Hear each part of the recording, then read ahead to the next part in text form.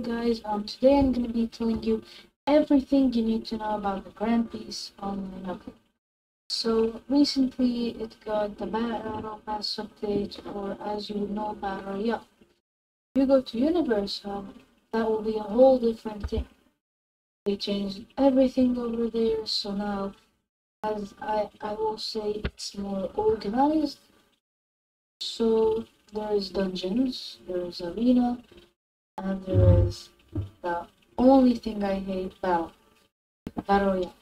It's so hard because everyone has some way of either cheating or coming behind you or anything like that. You know, as I am very so as you can see, you can invite players, you can see level, you can see the description dot and uh, he with me? I'm not sure. Why is everyone doing that? I think Fulton using this over. Who's Fulton? The developer of this game.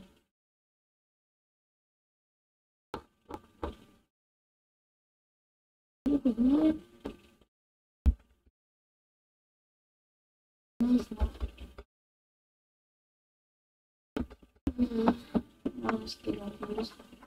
Alright, so as you can see, this is an battle pass. SP reset, SP reset run code.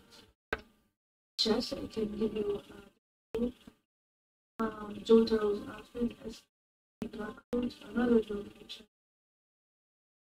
Venus Slayer outfit, black code, chest, Titan, SP, SP black code, chest. SPSP got code chest. Um, not sure to be honest. Not sure. Here's okay. SP got chest. I'm not sure I got here.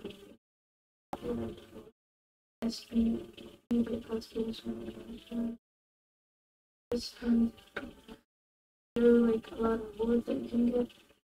Yeah, this is not 100%. It's like evergreen. This is very good. It's very it's um, difficult chest. Very. I'm thinking Massacre because these are very great.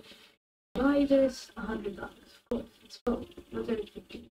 Hope he's not brand new. I, I love this game. Very tough, really big deal for you. That's his name, kind of weird. Okay, uh, Battle Royale arena and